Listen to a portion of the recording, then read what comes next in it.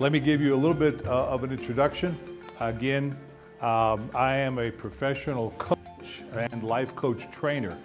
So I train uh, professional coaches. Uh, I also professional coaching.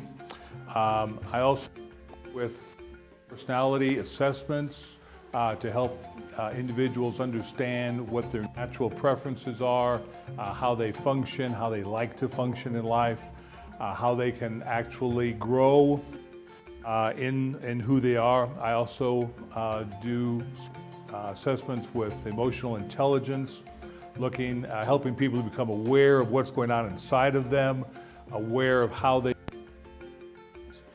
uh, aware of how they are interacting with others, as well as how they handle stress, how they problem sort of emotional intelligence.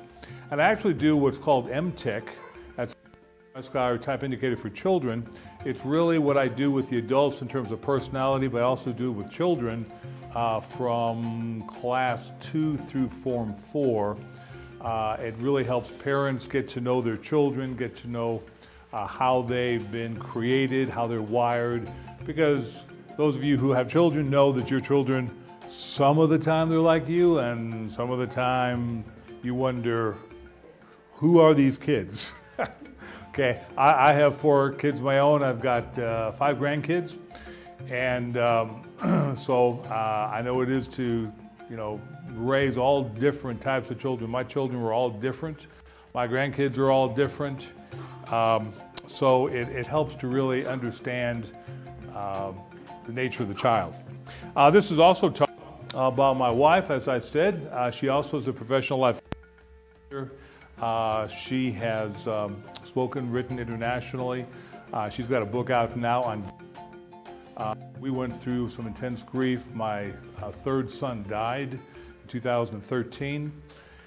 And you know, you, it's only when you really go through something like that that you understand the process and the grief that uh, others really go through.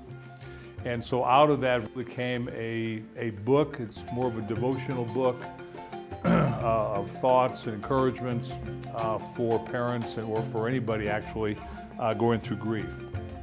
So this, this she just finished and has written also.